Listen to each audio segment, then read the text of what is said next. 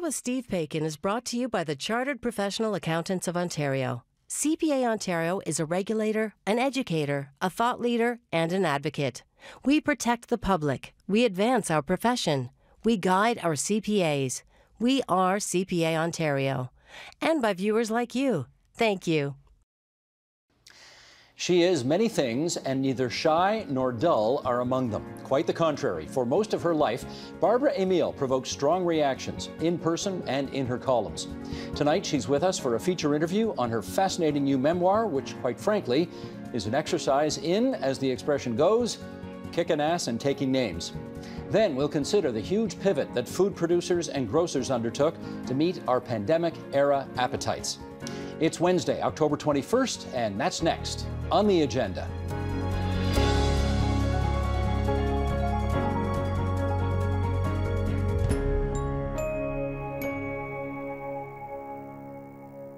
She's been called many things in her many years in the public eye It Girl, socialite, editor, author, baroness, columnist, wife. Four times on that one, actually. Barbara Amiel's new autobiography is a surprisingly self deprecating look at a life lived in the spotlight, occasionally a very harsh spotlight. The 600 pager is called Friends and Enemies, a memoir, and it brings Barbara Amiel to our airwaves tonight from the provincial capital. So nice to see you. Thank you so much. Terrific to be here. You and I, we've only met once. We, we barely know each other, but uh, I thoroughly loved this book, and I know you a lot better now. So, shall we dive in? Let's let's dive right in. Well, uh, let's just start with this. You know, you did say in the book you were quite reluctant to write your memoirs, and uh, I guess I want to know, for starters, what propelled you to finally say yes and do it. Um, I was reluctant because I always find the memoirs of people who haven't lived particularly extraordinary lives or accomplished something extraordinary rather boring, and you get these incredible anecdotes. Um, that really mean nothing. And that was my genuine reluctance. I didn't think I'd done enough with my life to write a memoir. What propelled me was that I am a writer, basically, and a journalist, and we use every writer, whether they're fiction or nonfiction, uses something of their own life for their writing. Um, even someone like Murakami, who wrote The Wind Up Bird and Japanese magic realism, the part of their own life goes into the book. And so much was happening around me that it was partly a need to have a thread to sanity. And it was partly a need to understand, as I have said before, was I really as horrible as everyone was saying? Because I don't think people keep saying you're horrible if you're not. I mean, not the you know sort of a hundred journalists can't be making up the fact that you're horrible. There must be something there. So I decided to sit down and write. Well, That's let's go. Let's go through some of the story, and then we can let our viewers decide one way or another how horrible you are. Okay. um, I do want to go back to England. As your accent suggests, you are from England originally, not a well to do home, and two parents, if I can put it this way, who were, who were clearly troubled people. How did you sort of manage your way through your childhood?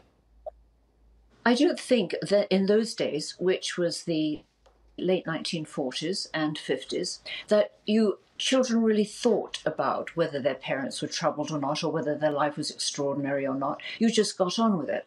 So when my when I came home from school one day in Hamilton, Ontario, and I think I was about 14, and my things were packed in a cardboard box. I didn't put this in the book because it sounded just too ghastly dramatic. And and I knew that I wasn't going to be staying at home any longer. I just thought that that was a wise decision of my stepfather's because my mother reacted very neurotically to my presence and I didn't want to upset him or her anymore. And from that point on, Steve, you just you just carry on. You find jobs, to support yourself. You look at the positive things in your life no rules, no parents to tell you when to come home, what jobs you can or cannot take. Mm. And I think that in this country, in Canada, you can always find a job. I grant you that it might be more difficult at 14 and 15 today than it was then because there are labor laws. But I could get jobs um, in department stores. I could collect pop bottles. I could do anything. Today, I'd probably go and get a job at Amazon or something like that in a delivery room where I'd wash dishes. Um, but it wasn't it wasn't unpleasant. I didn't sit home and cry. Well, um, okay, I got to follow up on that then because because I'm imagining you at the age of I don't know what you were, 15 maybe, when your mother called you and said, Your mother said this to you. Your father's dead. He killed himself. He went mad. I expect you'll go mad too. I mean, what does one think when one's mother says that? You know, the problem with doing interviews like this is that I have shut my mind to a lot of this. And after we finish this interview, I will go into a corner and probably cry. Um, I remember that moment very well. I was living in the house of a garage mechanic, and he said, There's a telephone call for you downstairs.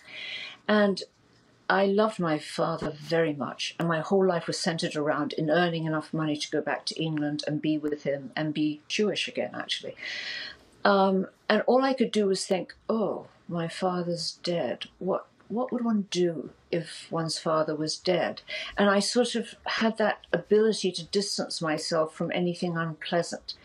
And so I left the garage mechanic's house and I went for a long walk on this cold, I think it was March day, um, trying to assimilate it. And I did. And I thought, now I have to change the direction. I won't be going back to England. There's no one there to go back to. So I must just get on with doing the best I can in Canada. And what that meant for you was eventually getting into journalism. You were on the uh, cover of Toronto Life magazine, its first ever issue, I think. I wonder whether at the time you can recall being, well, don't take this the wrong way. You were young, gorgeous, on the cover of magazines, trying to make it in a male dominated world of journalism. How was, how was negotiating your way around all that? How did that work? Again, there must be something very wrong with me because I never felt that there was any kind of a glass ceiling, any kind of a problem with men. And perhaps that's the good thing about my childhood because all the women in my family worked back for three generations. Um, it being on the cover of Toronto Life was not journalism.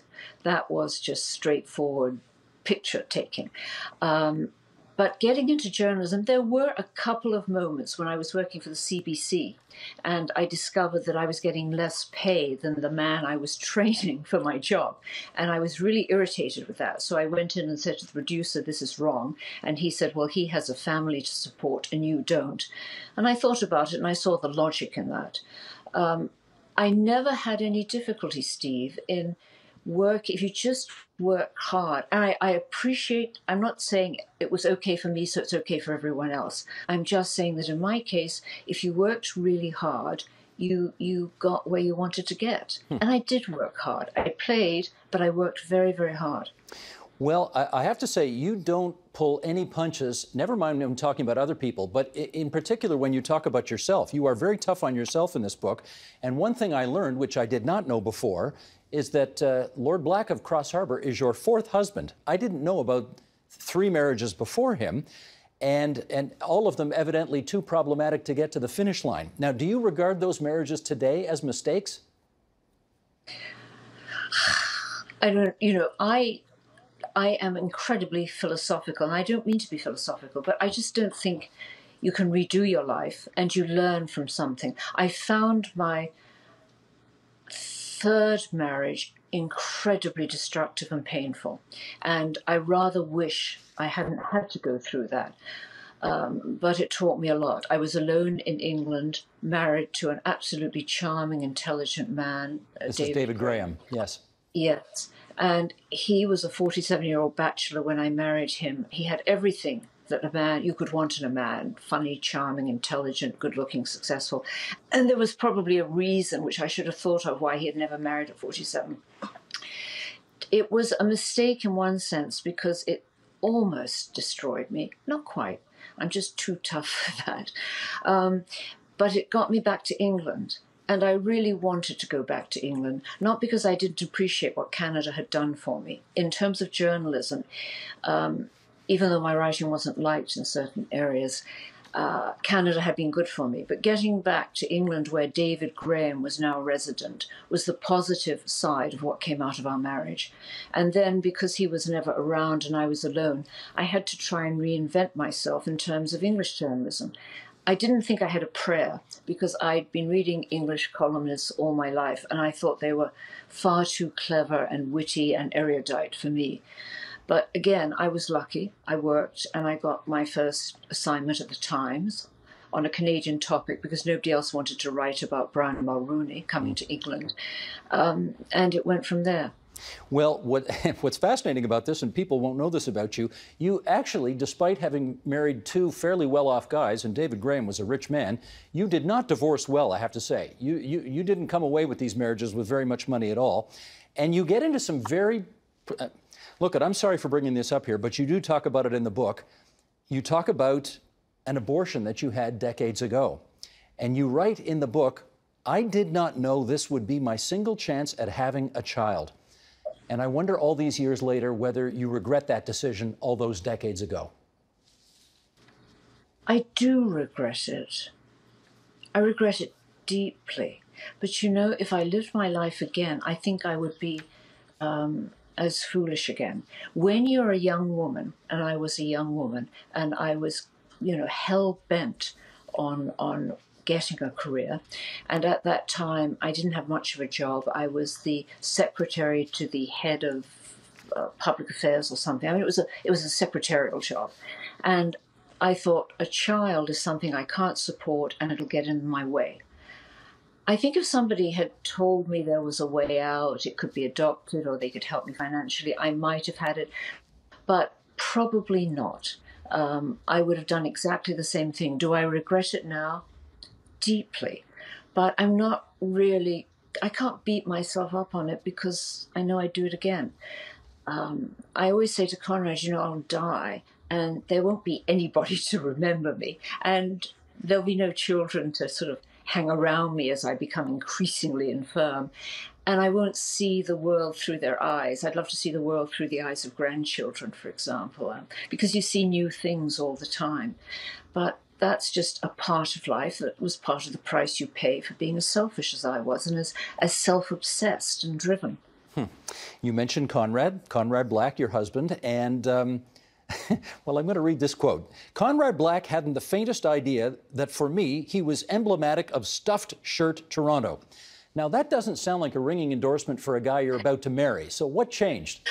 I wasn't about to marry him. Let's be fair. This was when I was editor of the Toronto Sun. I was living in in um, Canada, and I wasn't. I was trying to get out of the lunch with Conrad actually, um, because he was emblematic for me of what Peter Newman called the Canadian establishment, and I was never interested in businessmen.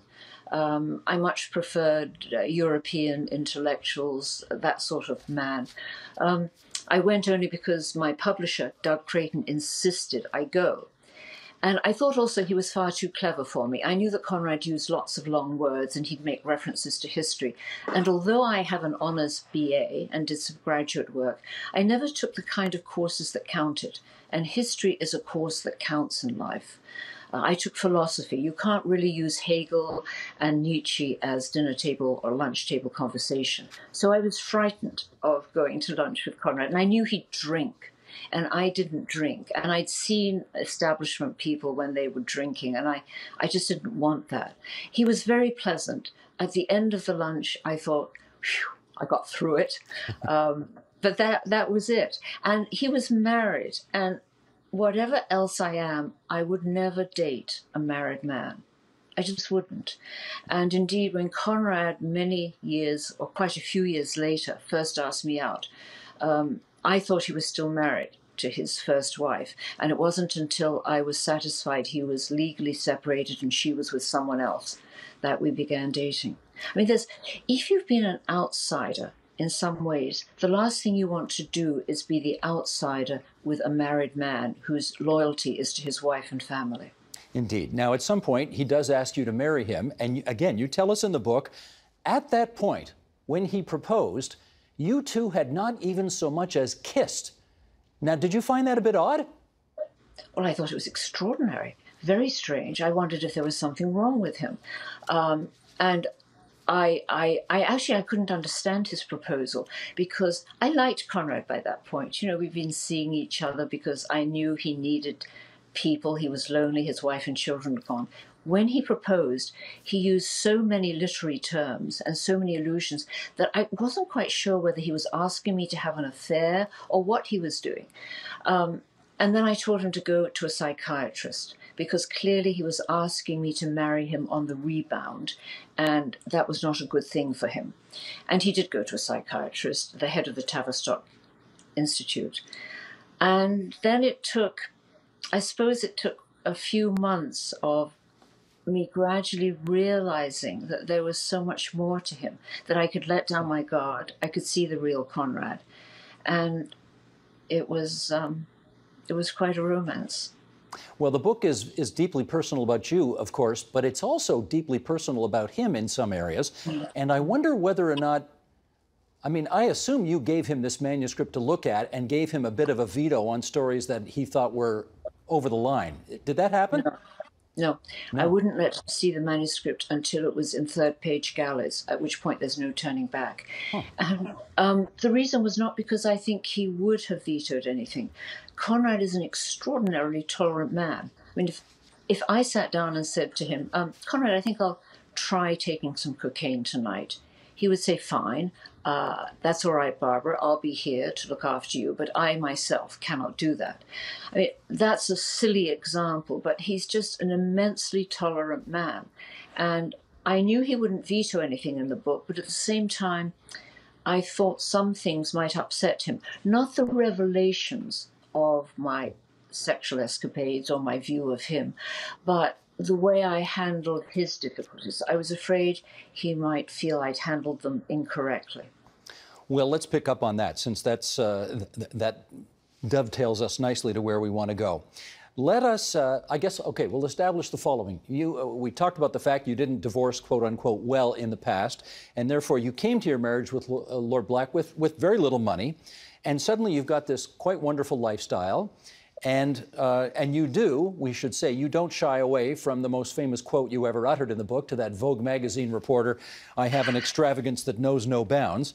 But I want to read an excerpt from the book now, and then we'll come back and, and I'll ask a question on the other side of it.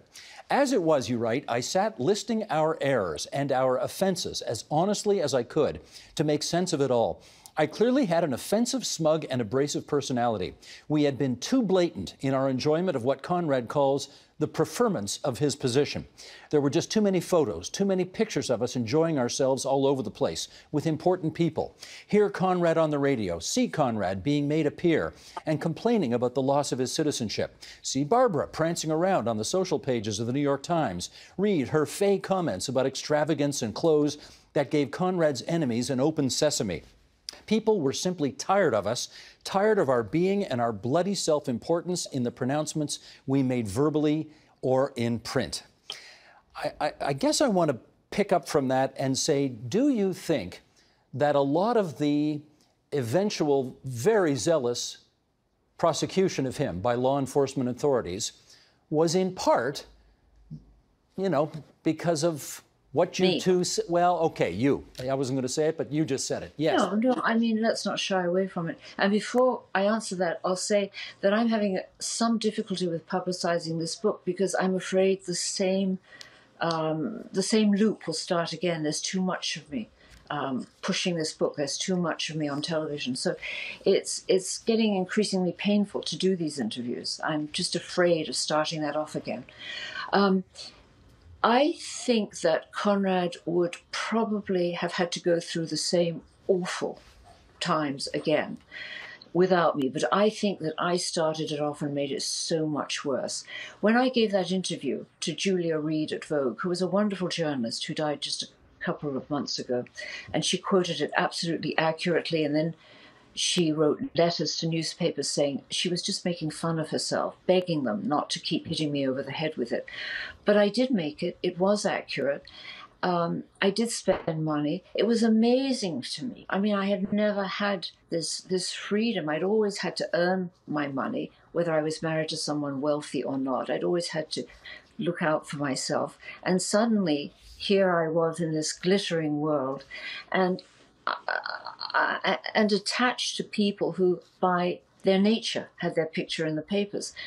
Um, I think that my extravagance became something that other journalists could use to beat us over the head with. So it ignited a media firestorm, and that in turn created or added to the atmosphere around Conrad. It was a time, you remember, when um, American prosecutors were looking for high profile heads because of the Enron and WorldCom bankruptcy. Everybody wanted to have a conviction to get the next level as a prosecutor. And I think that the media firestorm around us helped get that prosecution going. It was a it's an interesting thing because it started out not as a battle over how much money Conrad was making or whether he had stolen money.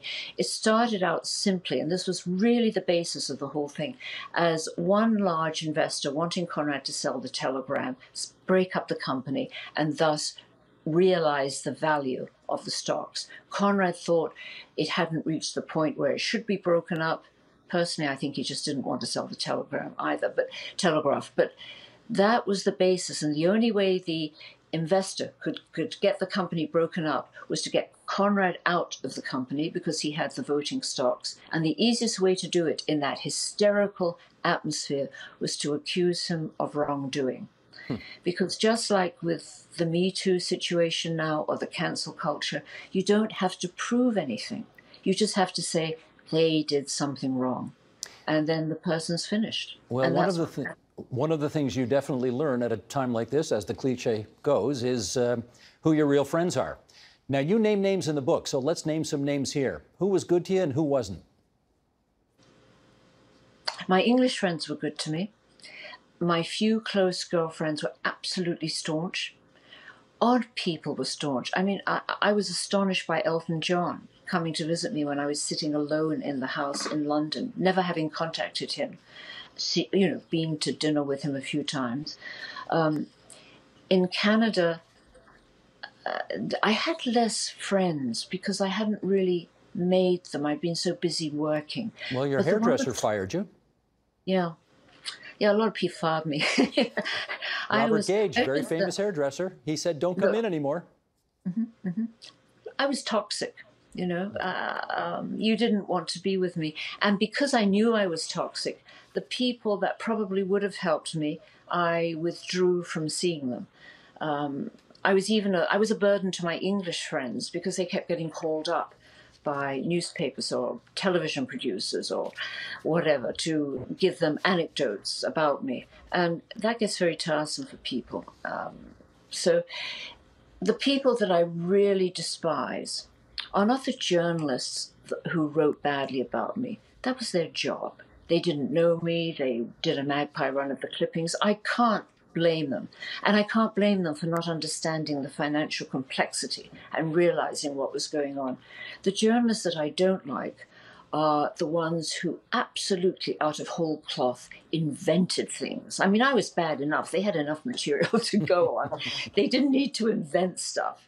And and those I I uh, I don't like. I loathe the lawyers. Um, Earl Cherniak is an exception, and there were a few exceptions. My my American lawyer that I finally got was wonderful. Our appeal lawyer was wonderful.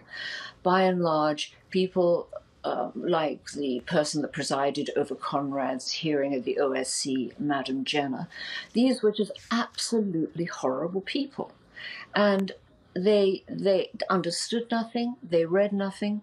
The only person I have a lot of time for was the late Ruth Bader Ginsburg, hmm. because she wrote the judgment that vacated all the convictions against Conrad. And she said that the, the judge had instructed the jury wrongly. And she told the appeals judge that he had created new law to convict Conrad. And I really, I really mourned her passing on a number of levels. Hmm. I should ask you, uh, since we are so close to Election Day in the United States, about. Um, I see the look on your face already, but here we go. Um, your husband and I have had some very wonderful, enjoyable, and sparky conversations about Donald Trump, uh, who I think it's fair to say many people feel is. Uh, completely unfit for the job, and it's an empirically provable fact that he's a disgraceful human being and uh, with an authoritarian streak, and we could go on. Your husband obviously uh, is partial to his policies and is um, uh, grateful to him for the pardon he received. I understand that. What's your take on Donald Trump? Well, we have a sort of Trump free zone in this house. um, and I meet my husband every night for Fox News. Um, and I busily with the dishes. My take on Donald Trump is somewhat different. Um, I think that, in spite of his manner, which I find absolutely excruciating, and I found the last debate the most horrible thing I've ever watched. It reminded me of every abusive husband yelling at every wife I could think of. but I find that his policies, I'd, I'd vote for him for two reasons. I don't know anyone else who helped the black people Afro Americans that I sat with in those prison waiting rooms. Nobody else has helped them, and he was the first person that has. And his policies, and I mean, it's extraordinary because people don't understand that in Canada. He's been the only president who's helped those people. Um, uh, Afro Americans are in prison in numbers that they should not be. Um, they've had rotten schools. Uh, they've had life has just kept grinding them down. And I have no idea why Trump decided early on in his presidency that he was going to make a hack into that and really start the prison reform that no one else did. But he did. And he set up opportunity zones. So I take that really as a really remarkable thing to do. Um, do you hope he's reelected? Thing, well, you know, this is difficult. I suppose I just could not see America under a president that is as challenged as Joe Biden and whose policies, I think, have never helped the lower classes and I think would wreck the American economy. I mean, if I were American, frankly, I'd stay home on election day. It's, it's just a, a very, very difficult time for American voters even though Trump plays footsie with white supremacists and militias and this type of thing? He doesn't. He really doesn't. Look, uh, I think he misses. I think he's idiotic in not being more clear. I mean, he has he has condemned the Ku Klux Klan, he has condemned white supremacists, but it's a kind of streak, I think, and I'm just I'm just speculating. It's a streak of stubborn pride in him not to go on about it because he can't believe that people thinks he's a racist. And anyone who knows his employment policies would know that he isn't. There's there's a curiously adolescent quality about him that goes hand in hand with an absolutely instinctive brilliance for policy. It's a very odd combination. But to quote my husband, who I, I often do quote, um, central casting doesn't give you the kind of president you need for, for bad times. Hmm. And America was having bad times, and it didn't throw up a, an FDR, it didn't throw up a JFK, it threw up Donald Trump. And he's not central casting's idea of a, of a great president, but his policies have been, before COVID, extremely beneficial to all classes of Americans. I think he was disorganized on COVID um, I don't know that anyone else would have done much better because closing the borders to China was a pretty important thing to do. Um, I, the tax breaks to billionaires, I think he gave them to corporations, um, and that increased job prospects. But I am not an economist. I can't tell you about that. No, I just remember him walking into Mar-a-Lago and looking at his billionaire friends and saying, I made you all a lot richer today. Anyway, that's exactly the kind of thing he would say. Yes, I mean, it's, it's awful, isn't it? I mean, it's the kind of thing that just it's like nails on a blackboard. Mm-hmm. Um, well, let's finish up on this. I, I, um, I got to say, uh, the, the very end of the book, you write, "I'm going to try to enjoy the remaining time left to me, and bugger off to the whole damn lot of you. We're still here. You lost." And I guess the, the, the question I have emerging from that is how important is it for you through this book and otherwise, to show the world that Barbara Amiel and Conrad Black can take the best punch that society has to offer and they can get up off the canvas and get back at it? I don't think it's important for me to show the world. Um, it's important for me to tell Conrad that I'm all right, we're here. Because you see, he has no problems. He feels that he won. He feels that he was on a mission, that there were was a principle and that he survived it because people wanted him to be absolutely flattened and never be seen again. And and when I say that at the end of the book, it's really um, it's really a vow of confidence in my husband. It's a feeling that I don't want to think about this anymore. I don't. Uh, we've gone through 17 years of this. We've missed 17 years of normal life together, of freedom to think about something other than lawyers and money and survival. And bugger off, everyone. I'm going to enjoy my husband now. well, your husband was the first ever guest on this program 15 years ago, and I am is delighted. That is true. And I am delighted that, um, well, it took us 15 years to get you here, but I'm glad it finally happened. So thank you. I'm thrilled. Thank you very much indeed. Friends and Enemies, a memoir by Barbara Amiel.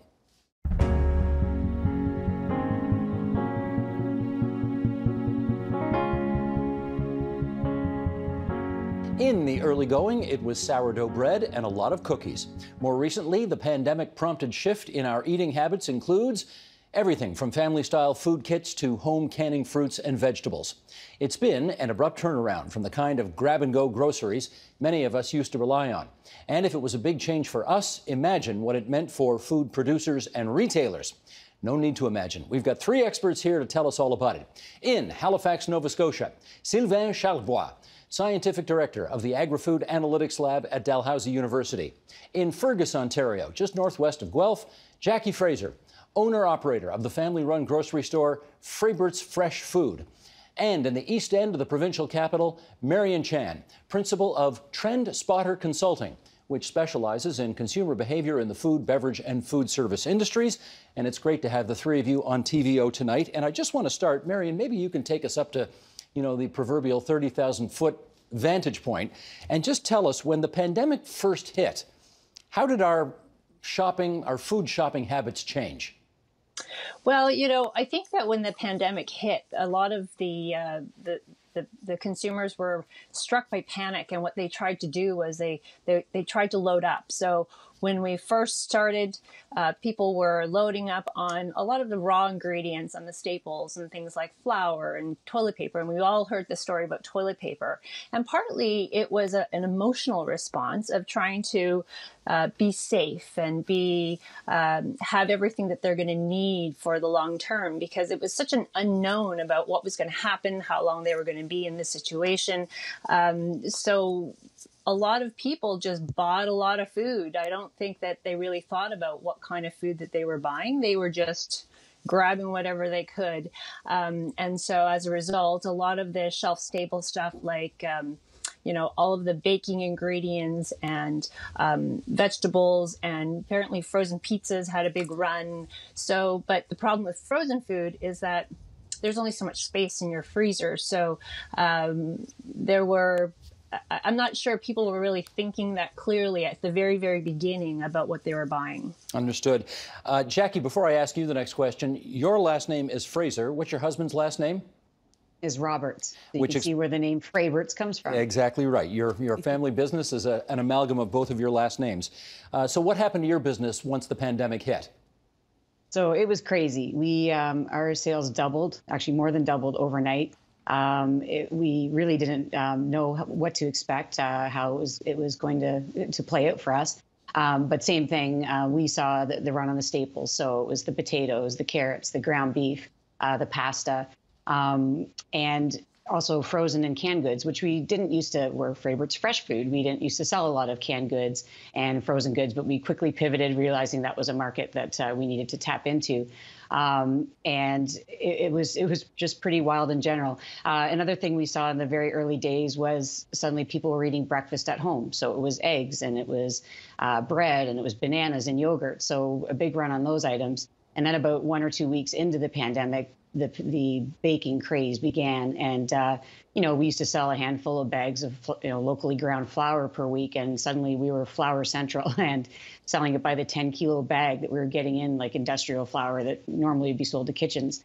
Uh, we started selling yeast. We'd never sold yeast before, and we were the only game in town for quite a while with yeast. So it was pretty wild. We uh, uh, had to really pivot, make a lot of changes fast. Did you have to hire uh, more adapt. people? We had to hire more people. Absolutely. We had some staff that needed to self isolate. Uh, we brought on staff quickly. Thank goodness we had just hired a new store manager right before the pandemic hit. His first day was March 18th, but he had come from a big grocery store, so he hit the ground running. And I don't know how, what we would have done without him. Uh, my husband and I worked all day, every day, seven days a week for about three to four months uh, during the beginning, just because it was really quite wild. And let me do one more quick follow up with you. If you walked into the store, say a month or two into the pandemic, how would it have looked different, and how would the shopping experience have been different from what people would have seen before March 13th? Lots of changes. So we uh, we moved a lot of things around in the store so that we could have one-way traffic. So we had an indoor and an outdoor. Uh, we reorganized all of our banquettes so that people could uh, maneuver around in a, in a sort of a certain flow. Of course, we put up the uh, plexiglass shields. Started wearing masks. We were spraying down the carts and the and the bins after every use. So lots of changes in the store, and, and also the change in product. We really uh, we really pivoted on that and brought in products that we hadn't sold before because we wanted to be wanted to make it as convenient for our shoppers as possible and keep them as safe and, and try to be as much of a one-stop shop as we could be. Gotcha. Sylvain, again, I want to take the bigger picture look now and draw upon your expertise in that. Before the pandemic hit, people obviously ate meals out at restaurants and they cooked meals at home. What was the ratio the percentage difference between those before pandemic? Seems like a long time ago, mm-hmm. uh, but before uh, March, uh, a typical household was spending about 38% of its budget on food processed and consumed outside the home. So we were looking at a 38 62 split between retail and service. That significantly changed uh, in March and April. We went from 3862 to 991. Hmm. And that's why we saw a lot of panic buying. So this tsunami coming from food service, which was really collapsing at the time, that's 95 billion dollars worth of business. It went from one sector to another, and retailers like Jackie had to deal with this tsunami. And the other thing that uh, we should underscore here is the virus itself. Back in March, uh, we went through this moment in time just because we didn't know much about the virus, really. We didn't know how public health officials were going to react to the virus. And a lot of people went to the grocery store without knowing really when will be the next time they'll be able to go back to the grocery store. And that's why there was a lot of stuff going on there. Now, you know, this may be obvious, so forgive me if this is a dumb question, but but are people essentially spending the same amount of money? They're just spending it in different places? So a year ago, uh, we actually predicted that the average family uh, was to spend about $12,600 for the entire year. That would include service and retail. But here's the thing, Steve when you spend money, in a restaurant, it's just it's just not the same money as in a as you were spending in a retail store. You there's a bit of, about a forty percent ratio. So you have to spend a dollar forty at the restaurant in order to get the same volume of food at retail. And so we, even though food prices are going up three to four percent right now, we actually believe that the average household is spending less money on food compared to last year. Okay, so not such a dumb question after all. I'm grateful to find out that no, not all my questions. Question. okay, good. Uh, Marion, back to you on this. Um, you know, obviously, lots of people, um, I guess, particularly um, well, listen, I, I, won't make any assumptions here. I would have thought that more, the, the, the more single you are or the younger you are, the more likely you are to sort of eat out or eat fast food as opposed to cook for yourself at home. Mm-hmm. D did a lot of the population have to adjust to, to kind of figuring out how to cook for themselves in some cases for the first time? Oh, for sure. I mean, I think that if you were to look at any Google stats, you would see that that uh, YouTube videos and recipe sites and uh, anything that was going to help people uh, learn how to cook a little bit more, they were really uh, very popular because, you know, the millennials they they like to cook, um, but they're not really they weren't really savvy, and especially when they were working all the time, it was really hard for them to um, to spend very much time cooking. So now all of a sudden they have all this time. Uh, they've got all of this, um, all these groceries that they need to, to cook. So they did really take um, uh, take hold of that. And for those with with families, it was part of that emotional uh, comfort of being able to cook for your family. You're preparing. I call it the stirring effect, which um, w- which in the past was more about taking something really simple, and the, the simple act of stirring made it yours. Um, but now it, it provided more of a comfort in this very uncertain time so that people could uh, pr- feel good about what they're cooking for their family and meals became more elaborate. However, if you're a single person, what do you cook? You don't have anybody to care for. You're you're cooking for yourself, which isn't isn't a lot of fun. So there were there were ways that they were working around it of trying to figure out how to cook larger meals perhaps and, and keeping it frozen. But I think that there were um, there's a lot of learning going on in, in terms of how do I cook? And this could be something that's going to continue on because uh, once they know how, they can they can keep doing it and it becomes easier and it's not going to take as long. Well, let me follow up on that because uh, at the beginning of this pandemic, it seemed wherever you turned, somebody was baking a cake or baking bread or baking mu- like people were baking stuff people who'd never baked before. How did that suddenly become a thing? Well, you know, I think baking is one of those things that has, um, again, going back to that whole emotional com- um, component, is that it it has that warmth and it's the that comfort. Um, and baking not only provides you, you know, comes out something delicious, but you end up feeling really um, it, it's a, like an emotional warm blanket. And especially if you have children it's something you can do with your children. It's something that you're going to be able to um, teach um, help teach with your kids and keep them occupied. So it had a lot of um, both uh, you know various uh, emotional and functional components to it that that allowed people to fill in the time with their family and have a result that was was uh, going to be uh, edible. Well, in most cases. Let me ask uh, Sylvain about the long range implications of that. Sylvain, you've got a society all of a sudden that's eating a lot more sugar, that's baking a lot more sweets, uh, and the gyms are all closed. Uh, and everybody has, I mean, most people I've talked to have acknowledged they've all put weight on during the course of this pandemic because they can't exercise as much. Yeah, yeah. So uh, take us down the road. What are the implications of, of this time in history and these new habits that we've created?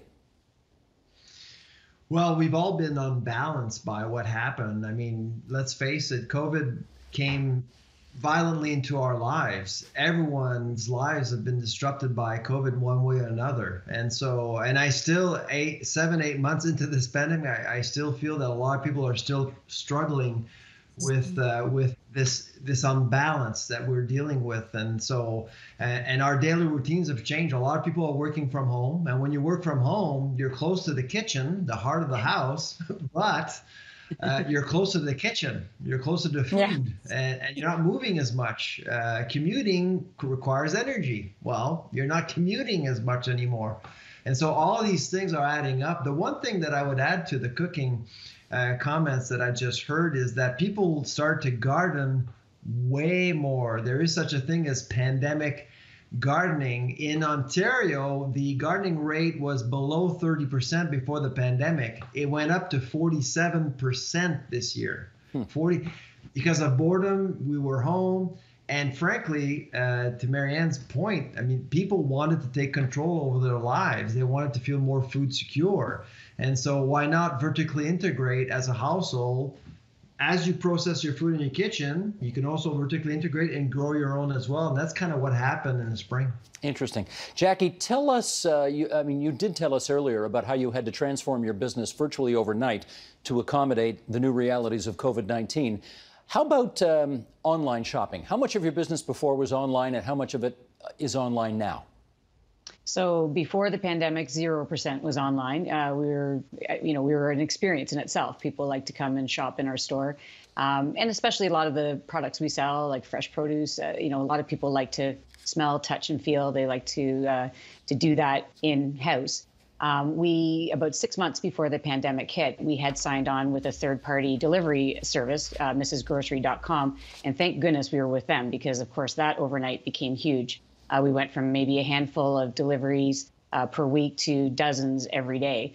Um, so we were very grateful that we could hit the ground running with with that service. Uh, you know, then we started the curbside uh, um, option, and that was, I mean, in the early days, we were doing that over the, the first few days, we were doing that over the phone, which was ridiculous. It was an absolute disaster.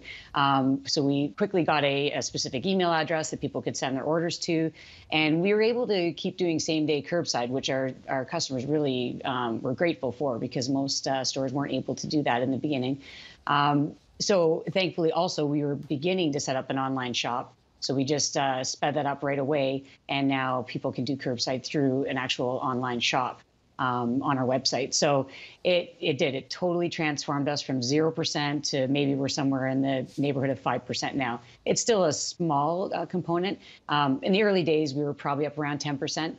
But like I say, before the pandemic, it was zero percent. Mm-hmm. So it's been a big, big change. Gotcha, Sylvain. Um, you have a big study coming out tomorrow on some of the changes that have taken place post-pandemic, and I gather we have been able to prevail upon you to uh, scoop yourself with one graphic from your study. And to that end, there we are. Thank you, Sheldon. Uh, we have it right now, and I wonder if you could take us through this chart, which essentially asks people how much of a premium are you willing to pay for locally grown fresh produce? For those listening on podcast and who can't see the chart, let me just read out some of the numbers here.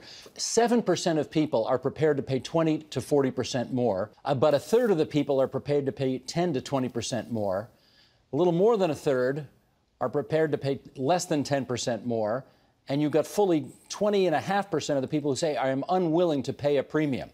Yeah, so the whole idea of this report is is to look at food autonomy. Uh, we've, uh, as a lab, we've been working with uh, a few provinces, including Quebec and and New Brunswick, looking at how we can produce more food all year round, and if there is any appetite, no pun, for local foods, and what do what does local food mean? And uh, and by the way, I've, I've been to Jackie's uh, store a few times when I was living in Guelph. It's just an outstanding store, and I know that they've been championing local foods, but local means something different to a lot of different people. And and that's what we looked at. Now with the graph you just showed we actually looked at the willingness for people to pay for for local food because typically uh, local foods are more expensive. Not always but more expensive.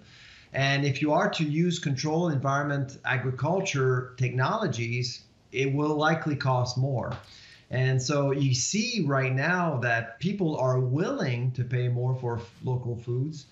But uh, the other thing that we've noticed in our study is that it doesn't necessarily mean that they're actually looking for opportunities either. But uh, we're not convinced, and of course, this is all about motherhood and apple pie. In uh, during surveys, a lot of people will answer uh, positive things or in a positive way. But it doesn't necessarily mean that that's exactly what's going on in, in a store. And I suspect that Jackie would know this. Price is the biggest barrier. I mean, uh, especially right now during a recession, uh, you, ha- you hear campaigns like Foodland Ontario advocating uh, or telling people to support your local economy. What is it unreasonable to ask people to support the local economy when their budget has been tightened as a result of recession, or maybe they've lost their jobs? So it's this is something that we need to work on, and what I what we've been advocating, we've been telling different provinces that if you are if you are to push local foods, make it affordable Jackie, what's your experience on this issue of whether people are prepared to pay a premium for more local? Yeah, I mean, obviously, uh, I can only speak anecdotally, and and my clientele. I mean, uh, one of the main reasons why they shop at our store is because we offer local food. So uh, we tend to cater to the local locavores that don't mind spending a little bit more for local. Um, we did have, I think, of strawberries off the top of my head was a commodity that was. Um, it stayed, you know, a little higher in price throughout the season. Uh, because of labor shortages and everything else. Um, and our, our, customers, you know, there there was some commentary about the price, but uh, they they were willing. But again, um, you know, I would say my clientele are probably not representative of of the population at large. All right, let's try another chart here. Now, this one goes back, Sheldon, this is the Angus Reid chart on the top of page four, and this one goes back to May. And again, lots of numbers here, so just leave this up for a second, and I'm going to take people who can't see this because they're on podcast. I'm going to take pe uh, people through this. When the pandemic is over, what do you intend to do more of, if anything? And in the group aged 18 to 34, more than half say they're going to cook more at home when this pandemic is over. And that's actually the number one answer, regardless of demographic. If you go to the 35 to 54 demographic, which are those middle bars, again, the largest percentage by a long way, 48% say we are going to cook more at home. And even those who are over the age of 55, again, the largest percentage, 40%, uh, say we're going to cook more at home. It's a much smaller number. Uh, you, you, know, you would think, I guess, that with nobody allowed to go to restaurants these days, at least in the four major uh, pandemic areas in the province Toronto, Ottawa, Peel, and York you'd think that there'd be this explosion of people wanting to go to restaurants, but that is uh, a distant second in everybody's responses. Now, admittedly, this is May. Things may have changed uh, now that we're in October. Uh, but, Marion, let me go to you on that. This notion that people, once the pandemic is over, are going to cook a lot more at home. This trend we're seeing now continuing. You buying? Definitely. I mean, I think that people are going to cook more. I mean, over over a period of time, those people who are cooking at home are going to to taper off because let's let's face it, the reason that we have convenience foods and the reason that that it exploded is because it was a it was a need. Uh, it filled the the uh, the filled the void of having time to be able to prepare your own meals. However, when people learn how to cook and they're learning, uh, it takes the mystique away from the whole cooking process and it becomes a little easier every time they do it. And over eight months, they've been doing it at home every single day, multiple times a day. It becomes easier, and so they'll they'll get um, they'll have a repertoire of things that they are uh, they can cook easily, and they'll be able to do it, and they'll become proficient, and then they'll increase their their um, uh, their repertoire. However, as I said before, as things are as people go back to work and their daily routines are become more set and their children become um, involved in activities in whatever way that they, they can be involved, time is going to start to shrink. And those uh, convenience foods are going to continue to provide them with the the uh, ability to provide quick, easy meals. Um, but I definitely do still think that there's going to be more cooking, uh, home cooking, and scratch cooking at home than there used to be. Let me pick up on the restaurant angle here. And to that end, I want to play a clip from um, this is John Sinopoli, who's the executive chef and owner of uh, something called the Ascari Hospitality Group. We had him on this program several months ago on how restaurants are hoping to survive this pandemic. Here's a little snippet of what he had to say. Sheldon, if you would. I think that many restaurants are going to shift into being more marketplaces because you can't fill your space with seats all the way, you're going to want to fill it with product for people just to come in, purchase something pre-made, pre-done, ready to go at home, and um, uh, like a more of a, a really high-end prepared food shop.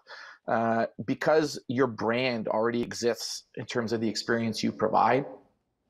Sylvain, let me go to you on this because I was a little surprised that that the number of respondents who said yes, we can't wait to get back out to restaurants and and eat out again after basically being deprived of that experience for the last eight months, it's a relatively small number. What do you think that portends for restaurants going forward? So the way we see food service right now, food service is at about 65% of what it was before COVID. Uh, so we are expecting many restaurants to close. In fact, a lot of them have closed already, uh, in, in the, including the GTA. But there's been a lot of pivoting going on, and this is the one term that we've heard a lot during this this pandemic. And restaurants are doing just that. Uh, and there's a lot of uh, uh, food brokering, I would say. Also, uh, we're seeing grocers partnering with restaurants and selling meal kits for restaurants to consumers. Uh, PC Chef is just one example it's been announced recently. There's a lot of things going on within the supply chain that would allow food service to have access to some opportunities. Essentially, with COVID, uh, we were talking for many years about this blurring line between food service and food retail. Well, COVID has has blown everything up. There's there is no line anymore, and I think a lot of people are starting to notice that. Jackie, I'm down to my last minute here. Are you uh, already or are you looking into partnering with local restaurants in the way that Sylvain just described? Actually, our local restaurants have pivoted and done fantastically well, but we did reach out to them in the early days and say, look, how can we help you? We're allowed to be open. We recognize that you are not. We're, we're so grateful to be able to be open when you cannot be, and how can we help? Um, a little bit of a side note we had a local flower shop that was going to lose their Mother's Day because uh, she wasn't able to be open. And we opened up our space to sell her flowers for Mother's Day um, because we could. And so there are ways that, uh, you know, the community was trying to to help each other in different ways. But that that is an excellent point. There were we did sell meal kits for a, a restaurant in uh, in Waterloo for a while. Um, but uh, yeah, it, it's a, it was a great opportunity for us to help, and uh, knowing that we were very fortunate to be able to be open during those times. And Marion, in just a few seconds, do you anticipate food shortages going forward? I, I, think that the manufacturers are have been able to gear up. The problem is is the balance between large sizes and small sizes. So, um, how do you how do you get that right balance of um, people who really want to buy bulk and people who want to buy the normal sizes? Um, depending on how things roll out, nobody really knows. Um, you know, how long will the time where we're going to have to line up to get into grocery stores? Is going to go back to where it was before um, in April and May, or are we going to be able to kind of wander in, buy what we need, and come out? So it, it it's really about size, packed size at this stage, and trying to figure out what's going to be the best. Um, oh. There'll still be some shortages, though I expect. Okay, you three are done. Go bake some bread or something, okay? Sylvain Charlebois, Jackie Fraser, Marion Chan, it's good of all of you to join us on TVO tonight. Thanks so much. Thank you.